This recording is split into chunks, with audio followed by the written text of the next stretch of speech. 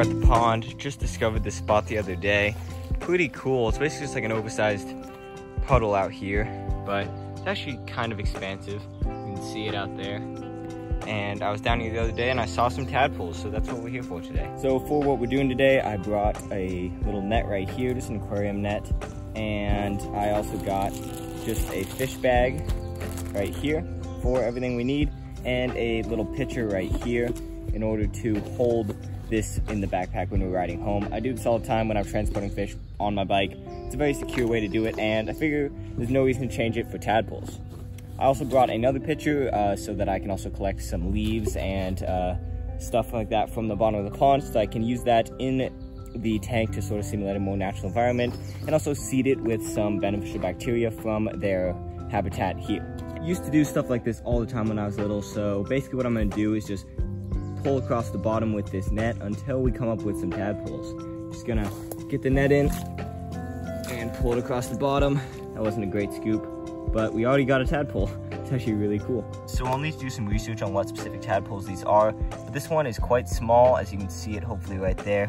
Don't wanna keep it out of the water for too long, but uh, they are in very early stages of development. Uh, this guy at least is very small. And so I'm just gonna fill a pitcher up with water, put him in there, and just hold on to him for now.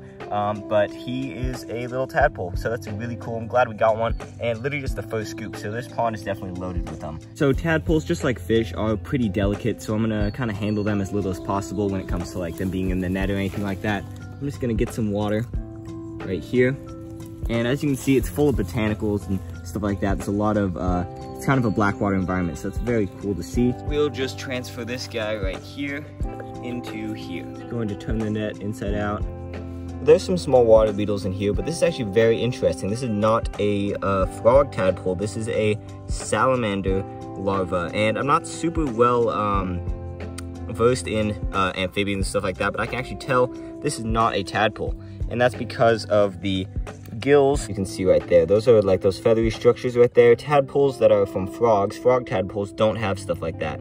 And uh, salamander tadpoles do. So that's very interesting. We already got a salamander larva right here. You can see him hopefully right here. Kind of looks like a baby little axolotl is what they are similar to. And i think that's pretty cool. I don't know if this is one that we'll keep but it's already really cool that we got something a little bit different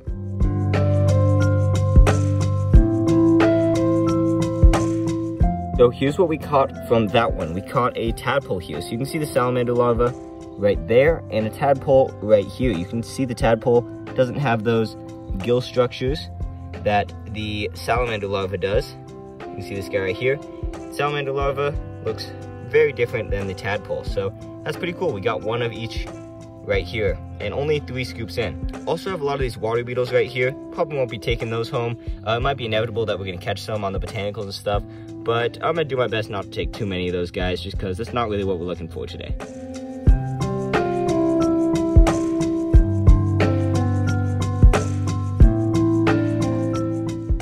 So this is very interesting right here. We've caught relatively small salamander larvae and small tadpoles, but check out this guy right here.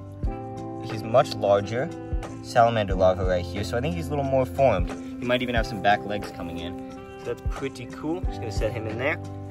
And we actually got a two for one in this scoop right here. We got, let's see if I can find him, there he is, another tadpole. So that's very cool. Let me get him, you can see him right here. Another little tadpole right here, slightly larger than the other one. So we're just gonna set him in here as well. So here's something I'm just plain and simple not a fan of. Little dragonfly larva. I just do not like these guys.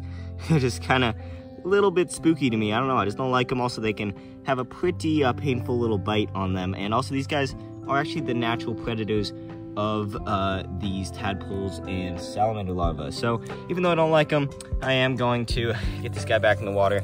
Even though they can crawl on land, as you can see. Just gonna get this guy in the net because I don't want to pick him up. And I'll let him go just because, you know, I'm nice. But I do not really like those guys. But that is a uh, interesting look at a natural predator to these guys in a small body of water like this. All right, so in this picture, I've got just all the stuff that I caught and just kind of a bunch of muck from the bottom. And this is a relatively clean bag of water from the pond, which uh, doesn't have very many water beetles or anything like that in here, and this is what I'll be transporting them home in. So I'm just gonna do a little selection, take home what I think I want.